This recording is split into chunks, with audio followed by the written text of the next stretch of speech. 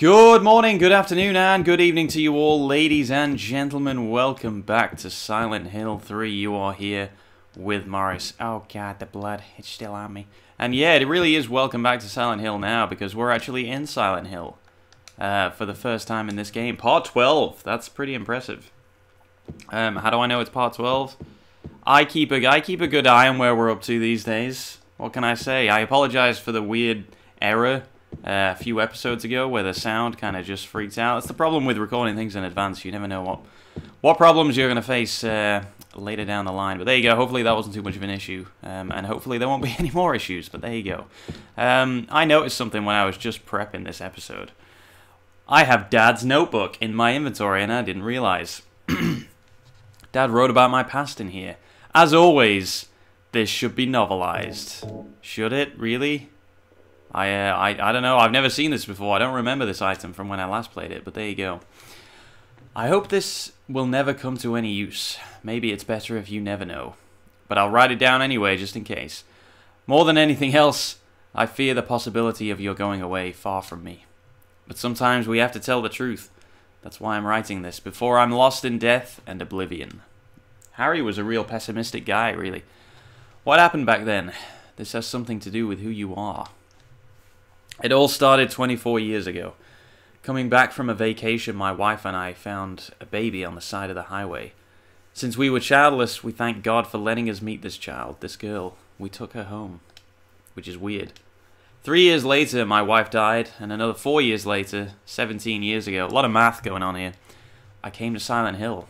I heard the girl's pleas and took, took her with me, not knowing why she wanted us to go there. And it was there that the girl went away. Not that she actually went anywhere, nor did she die. Returned to her original self. That's what Dahlia Gillespie said. It is Gillespie. Gillespie? Gillespie. Original self. That was the young woman burned by her mother as a sacrifice to God. Alessa Gillespie. Half her soul escaped in those flames. I went on to live in a baby, in that girl of mine, of ours. Seven years passed before that half a girl, that half a girl, that's what you're saying, returned to Silent Hill and made Alessa whole again. Newly strengthened, she vowed to kill God. God, a fetus nestled into the sacrificial girl's womb, remember that word, was summoned with the usual rites. This was Alessa's wish, no matter what the outcome, even if her own existence were at stake. But that wish was not granted. My interruption meant she prayed instead for the girl's return. I alone couldn't bring her back. Dahlia did it. I only helped at the birthing ceremony to bring God out of Alessa. Good lord, this is one. Of, why would you novelize this? The newly born God wailed once and, and was dead. All from that girl's and probably Alessa's conscious resistance.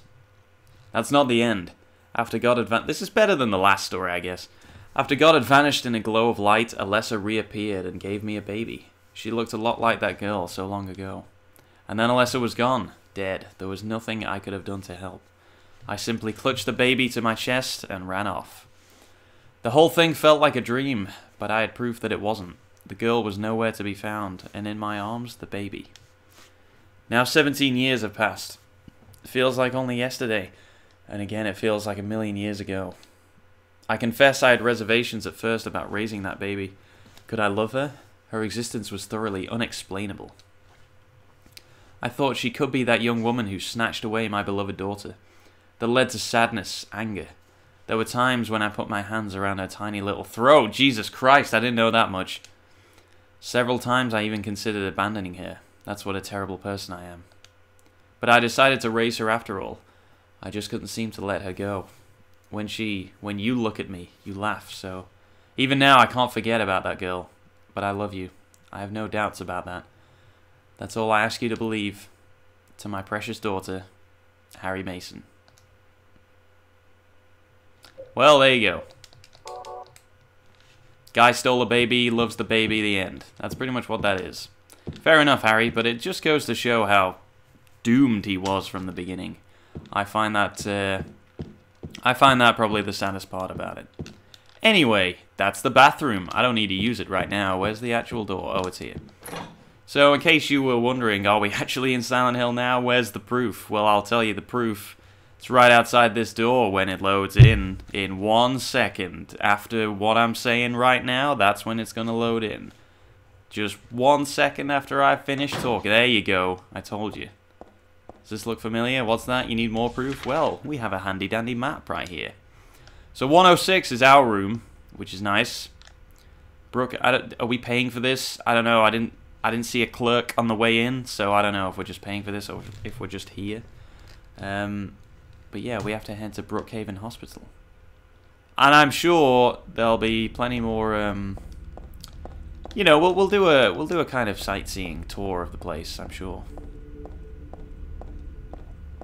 Oh God, this feels uh, this feels strange. It feels kind of good to be to be back here, I guess, and to actually be seeing Silent Hill 3 in all its uh, in all its glory because it looks really good. It does look very similar to Silent Hill 2. I guess they're both PS2, and I don't know, they're both quite near each other in terms of release date, so I don't know. It's all it's all relatively similar, but it's just it's it's nice. It looks good. I, I I know I've said it before, but the game does hold up, and I think it's when you're in this location that you realize, excuse me, that you actually start to realize how good it does look. And you probably think I'm crazy because you can't actually fucking see anything. But, it's, um, I guess that's the point. that's why it looks good. I also can't go that way, so I guess we're going down here. And I would wonder if there are any other locations that we can go to. Because we've been... I mean, I guess we've been everywhere, really. Just not in this game. so I wonder what locations are open to us and what, what isn't. And, uh, you know, wandering around here as Heather Mason, I just can't help but think back to when we were Harry Mason, and we just... It really still gets to me that we kind of just skipped past a lot of stuff. I mean, yeah, it was optional, I guess, but it just kind of, uh... I don't know, it got to me a little bit. Oh, God. Really? It's begun? It's begun already? Holy hell, okay. They are out in force today, ladies and gentlemen. the welcome wagon has, has arrived. Alright, let's keep it moving.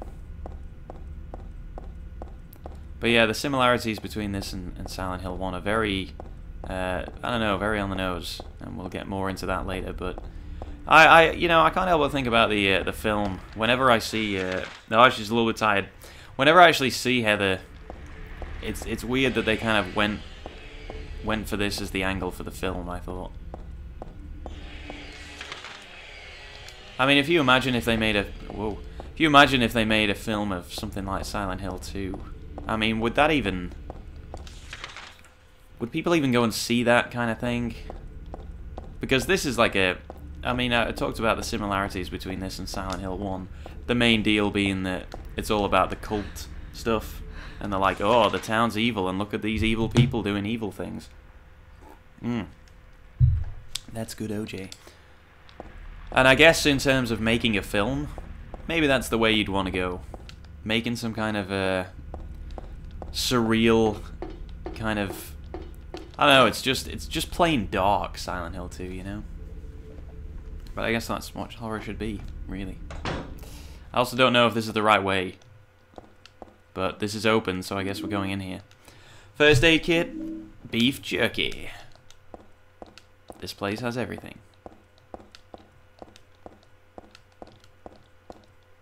Anything to say, Heather? Oh, hello. It's a tourism pamphlet. I'd forgotten it, but it's true. Silent Hill was originally a resort town. I want a game where you just go to the resort of Silent Hill. And it's like a Sims type thing. Welcome to Silent Hill. Silent Hill, a quiet little lakeside resort town. We're happy to have you. Take some time out of your busy schedules and enjoy a nice, restful vacation here. Row after row of quaint old houses, a gorgeous mountain landscape, and a lake which shows different sides of its beauty with the passing of the day, from sunrise to late afternoons to sunset. Apart from when there's fog everywhere and you can't see anything, Silent Hill will move you and fill you with a feeling of deep peace, especially when we just kill you and then you won't feel anything at all. I hope your time here will be pleasant and your memories will last forever, because you'll be haunted by them in your dreams. Editor Roger Widmark. Well, Roger, It remains to be seen whether I'll have a, a, a relaxing, peaceful vacation here. Just leaving shotgun shells just on the bar. That's that's how you know you're in a peaceful little little town. the lock is broken. I guess this maybe is uh oh hello, what is this? It's a fly from a club. It shows a woman with long black hair, the return of Lady Maria, from 8pm on the 27th. I'll be there. Sounds like my kind of show. But yeah, this doesn't. Uh, this place doesn't really have that much significance to Heather. but it's nice that they let you go back in.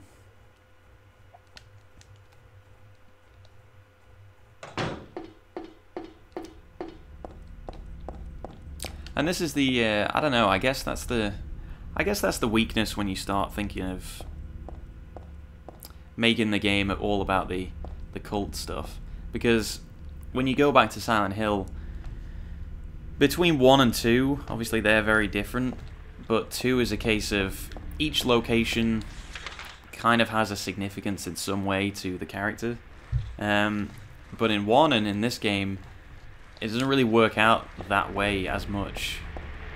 It's more about they're just creepy places. Like, it's a hospital. Hospitals are creepy anyway.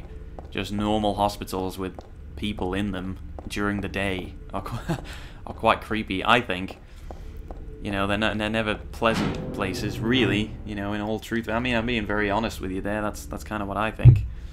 Um, you never go to the hospital because everything's okay. Let's put it that way. Um, so there is that. Oh god, I don't have a map of this area. And there's enemies. Good. What a great start that we've made here. Holy hell, nurses. Um, but yeah, in this game, it's it is all about, hey, we're in a hospital. Hospitals are scary, let's put some scary things in. It's also really dark. You know, that that's kind of what it feels like to me. It's a medical record or something. It's for that this Leonard guy. Could this be the same Leonard that Vincent was talking about? God, it was like two days ago when I played it. I don't even remember that. Room S12. Well, I guess we're going to room S12 presenting mild audio-visual hallucinations, emotional instability, obsessive ideas. Suspect mild schizophrenia. Will continue observation. Basically calm and cooperative with a strong sense of justice. However, according to reports, becomes very violent when overexcited. The other one is for Stanley Coleman, room S07. Usually passive and cowardly, also egotistical. Is this about me? Sometimes shows and acts on obsessive attachment to a particular woman. Could be. This has caused violent incidents. You use caution. No, definitely not. Definitely not me. That's fine. That last bit? No, definitely not me. It's all good. There's nothing of interest on top of this desk. But I'm okay with apparently reading through private documents about patients. There's a memo posted on the refrigerator. Food only. Do not store drugs. I wonder if it's okay to store drugs in here. Ooh, health drink. Oh, only one? That sucks. I need a, you need a little fridge next to it that says drugs only. Do not store food.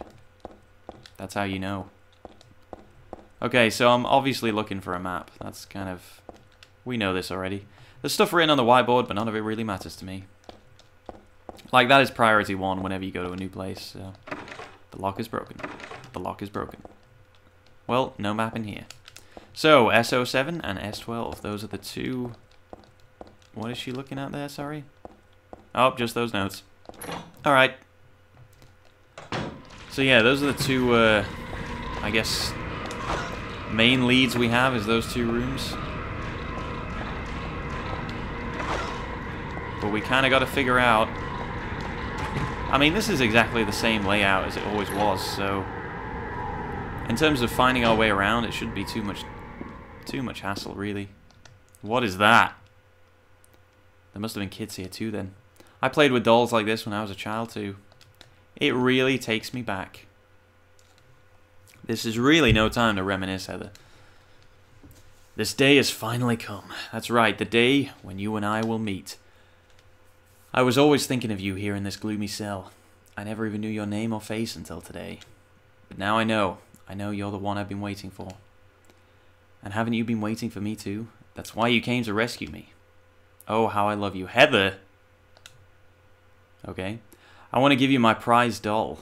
I made to commemorate our meeting, the start of this everlasting love. I can already see your smiling face. Stanley Coleman.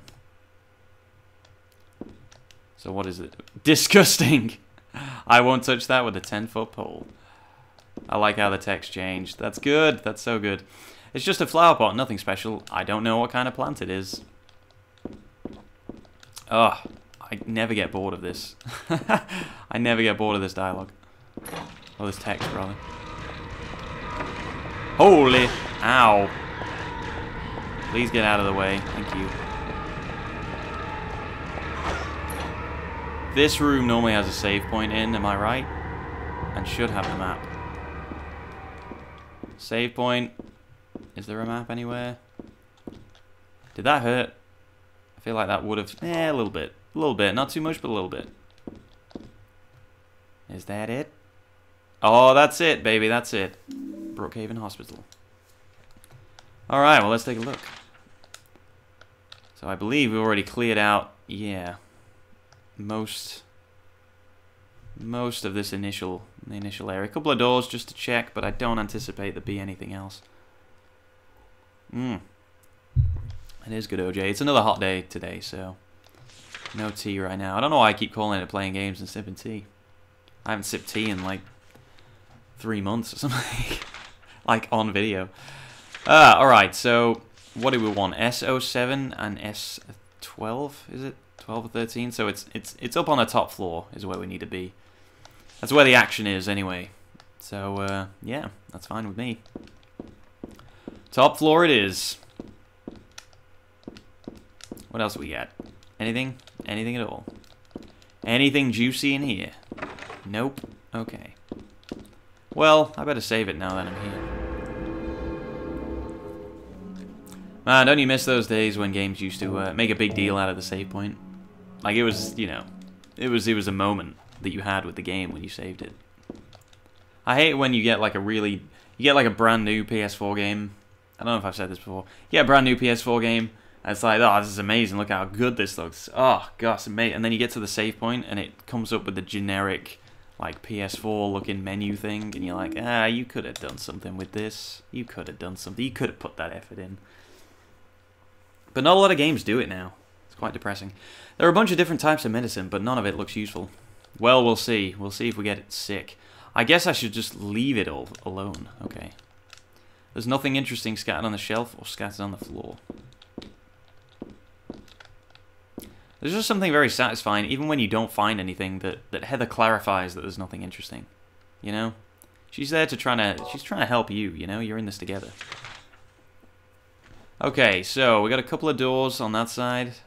The bathrooms and the cafeteria. And the storeroom on this side. So we'll hit the storeroom and then we'll do a loop-de-loop. -loop. Whoa! Okay. Okay, that's fine.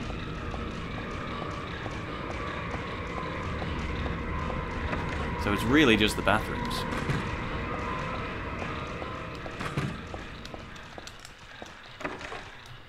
Did I... Did I even hit those? Where are they?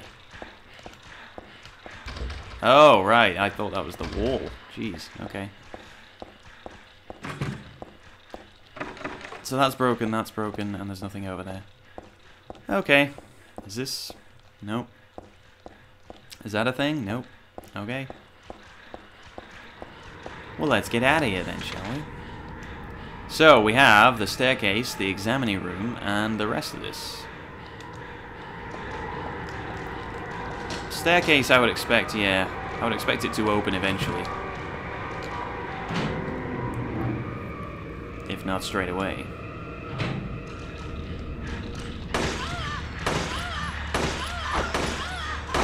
Five. Oh god. Six. Seven. Wow, okay. Eight. Eight shots. More than enough to kill anything that's dead. So eight shots. I can, I can, mm, I don't know actually if I can live with eight shots. That is some breathing going on right now. Can you hear that? Oops. I just used three of them, I think. Alright, um... Well... I guess that's fine. I guess we got plenty. Oh god, there's so many doors. I don't know if you do that thing where if you turn the turn the torch off, they can't actually see you. I don't know. I'm not with... Oh, God. Oh, Jesus. Jesus. No, no, no, no, no. Really? Really, really, really? Is that happening? Okay. Okay, that's fine. That's fine. We are going to clear this room. We're just going to do it of a different fashion to what you would expect.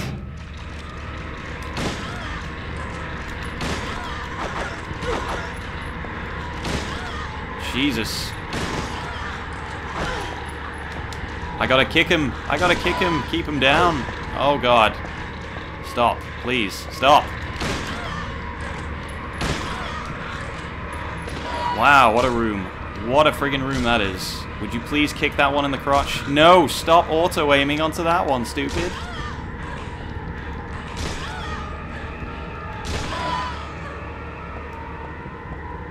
Okay, now the real question of whether I will actually keep this save now is if there's anything actually in here.